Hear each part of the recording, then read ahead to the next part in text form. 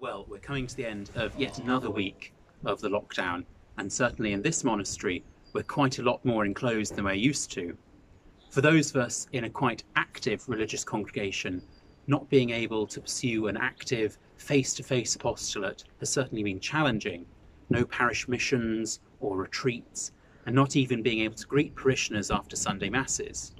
We can do some things, certainly, such as streaming Masses online pastoral work over the phone, or in delivering food and medicine to those who can't get out at all. However, I've certainly been able to reflect more on the importance of our regular life of prayer together. Prayer and the development of our interior life is absolutely vital for a fruitful apostolate, rather than just soulless activism.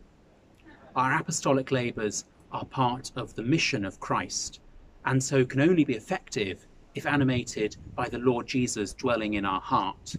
Even if it's a good work for a noble and a Christian purpose, if we attempt to achieve it through our own efforts by trying really, really hard, then it'll be in vain. When we're all more or less enclosed because of the pandemic, then our prayer life is our apostolate. Our union with the life of Christ is the way that we bring people to Him. Whatever your situation or state of life, take this time to deepen your prayer life. It's not I that live, but Christ that lives in me, as St. Paul, Paul tells us.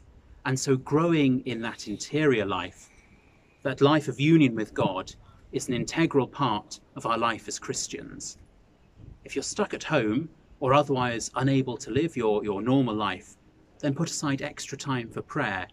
If you don't normally, then try to sanctify time through the Angelus, or even starting to learn about the Divine Office. There's loads of stuff online.